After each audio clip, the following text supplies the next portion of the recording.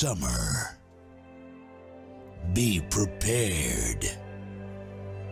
Zombies attacked.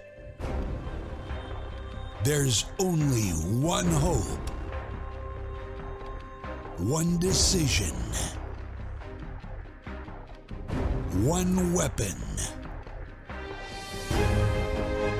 To save them. Critics are calling it sensational.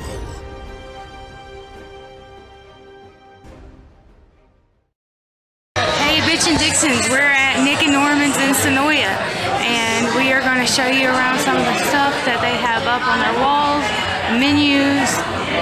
We're trying to uh, get some pictures of the food, some videos of the food, and we have Greg Nicotero sitting at the table almost right behind us, which is really cool.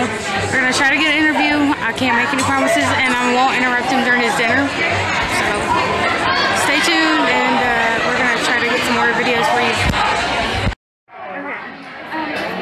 So we are at Nic and Norman's, and we're here with Greg Nicotero. And so, Greg, why did you want to start a restaurant? Norman and I talked about it a couple years ago. We, we started filming here a lot. We thought, you know, it'd be great to have a place that we can go hang out, and the crew can come, and the cast can come, and fans can come. It's just sort of like us giving back to the to the community that we've been destroying with zombies for the last six years. And how did you guys come up with this theme for the restaurant? Did the menu or the You know, it was something that we talked a little bit about in terms of wanting something a little more upscale. You know, Norman's Burgers kind of healthy. You can get kind of healthy versions and bison or lean. And so we wanted, yeah, we wanted it to be more upscale and not super fattening or super greasy. Norman was like, I'll never eat there if the food's greasy. Okay, and I guess keeping in mind three questions from both of you.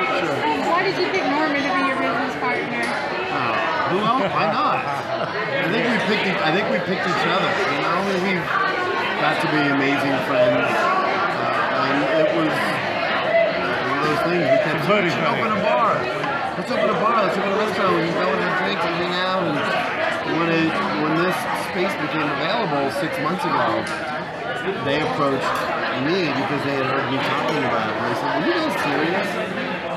And I called Norman. I'm like, hey, dude, this, remember we were kind of kidding about having our own bar? It might be a reality.